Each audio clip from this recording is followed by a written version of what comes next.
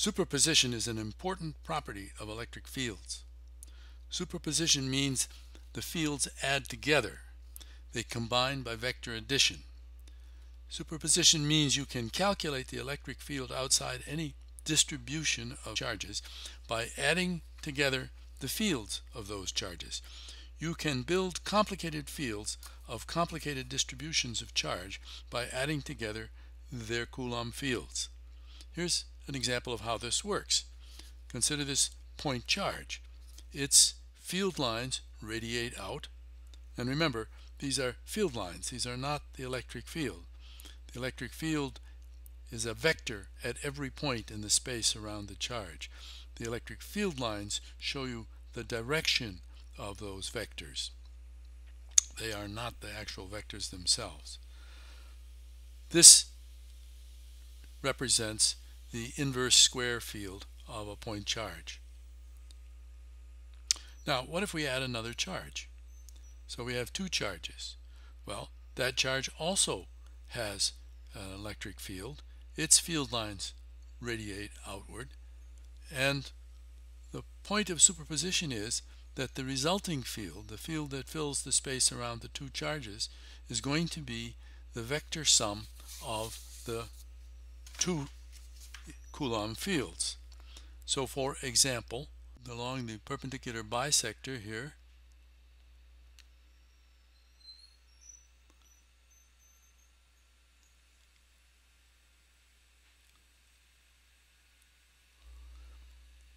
anywhere along this point, you can see that the, the x component of the electric field vector from this direction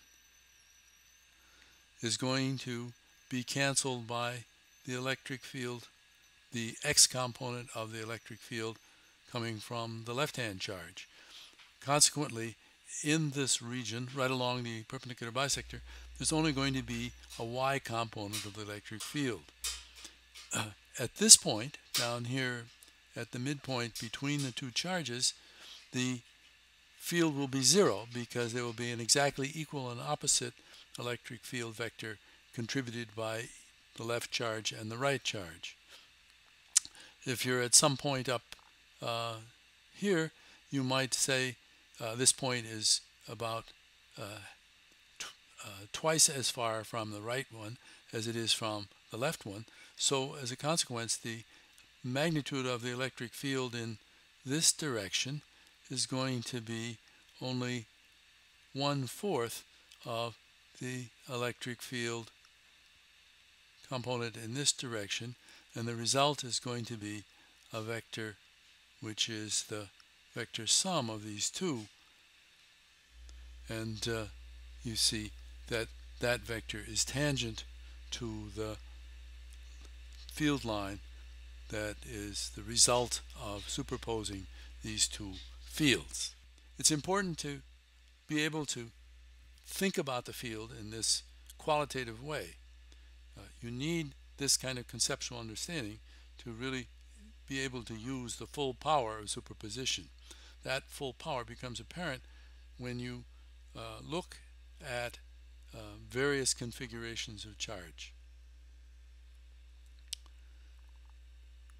So let's consider a very simple case, a case of two charges we're going to add the Coulomb field of the charge that's on the right to the Coulomb field of the charge that's on the left. This expression is the one you've seen before. It, it describes the Coulomb field at a point r sub f in space in terms of charges that are located at these source coordinates uh, at rs1 for the charge on the right and RS2 for the charge on the left. Of course, if you want to actually do a calculation, if you want to know what the field is at a particular set of coordinates x and y, then you have to represent these vectors in terms of the coordinate frame that you have chosen. Now this is a carefully chosen frame because it's chosen to exhibit clearly the symmetries of the problem. And that's always a good idea when you're picking a reference frame, although in principle you can choose any arbitrary reference frame you like. Still, this one has the virtue that the, the x-axis of the coordinate frame lies on the axis of axial symmetry of the two charges, and the y-axis lies in the plane of bilateral symmetry or reflection symmetry. Here we are uh, putting in a representation of the uh, coordinates and in this frame of reference uh, r sub s1 is just a i hat r sub s2 is minus a i hat the two charges are spaced by a distance of 2a and we reduce complexity by assuming the charges are equal and that we're only going to look at the field in the xy plane that is for z equals 0 then although in general the field coordinate is xi hat yj hat zk hat for our case we're going to just ignore the z coordinate and exy the field at any point in the xy plane is given by this expression this is the same expression now with the vectors uh, fully represented in terms of this reference frame this is a very powerful tool this is a algorithmic machine that enables you to put together the electric field uh, coming from any combination of electric charges. So for example, uh, uh, here it is repeated for two charges, one on the left, one on the right. But if we add a third charge, say at the origin, then we just simply add one more term.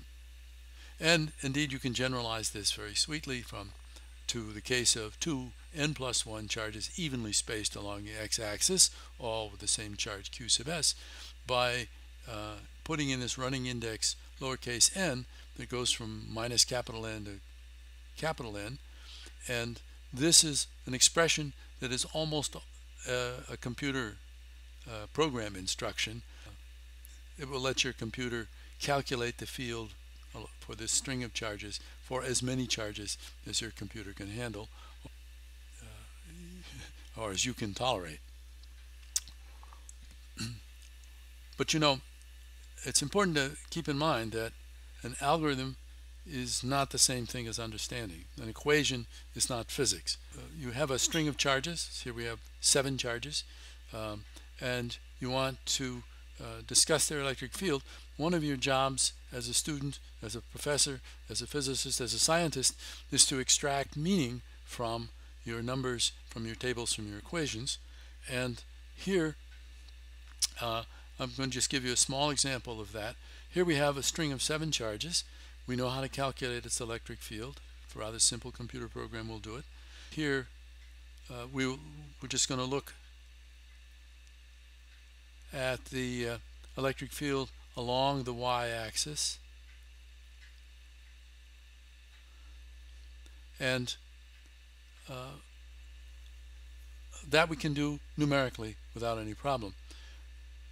What constitutes the extraction of meaning is when we ask and answer questions like what does this charge distribution look like? I'll explain that in a second what does it look like when you're far away what does it look like when you're in close? What if you come in along this axis? What does the field look like along the axis? What does it look like when you get in very close to the origin? What does it look like if you go along the x-axis? What does the field look like uh, out here? What if you come in very close to the end of the axis? What does the field look like? What does the field look like in all these different circumstances? These are the questions that we, we ask and to give you an example of an answer, let's just ask, what is this going to look like when we're far away? Well, we know if we go far enough away, it ought to look like a point charge. And so its, its, its field ought to be something like 7 over r squared. Um, and uh, we can compare this expression with our numerical expression to see how good an approximation it is. How much like a point charge does it look at different distances? So in the next slide is a graph that shows you the results of two different calculations. The red line shows you the calculation that you would get if you used the summation formula for seven charges in a line. So it is an exact calculation. The blue line, on the other hand, is the inverse square curve uh, calculated for our seven charges and I've chosen 1.11 nanocoulombs that's a number you're going to learn to recognize because it has the effect if you use 1.11 nanocoulombs it turns out that the coulomb constant Kc so times that amount of charge comes out equal to 1 and so by having seven of these the KCQ in the inverse square law comes out equal to 7 so this is a curve which is 7 over r squared, where r is measured in units of the separation between the charges. So we have seven charges between minus 3 and plus 3. So we have seven charges across 6 meters, let's say.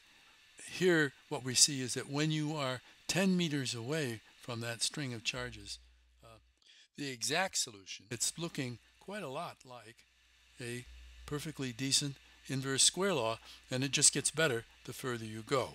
Well, you can't be sure. You'd need to look at this in some magnification to be sure.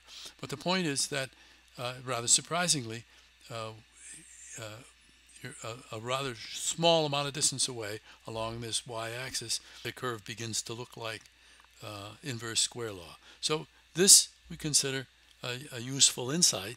This is an example of what I intend you to understand by the extraction of meaning.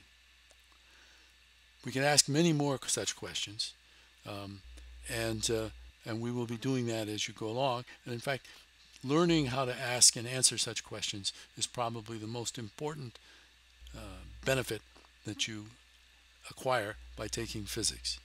But for now, the takeaway message is electric fields superpose. You can build a complicated field out of the simple fields of point charges. You can design configurations of charge of any shape and dimension and use superposition to find their electric fields. You could make your line of discrete charges into a line of nearly continuously distributed charge. Here as we do going from 7 to 14 to 28 to 56 charges all packed into the 6 meter length of this stub.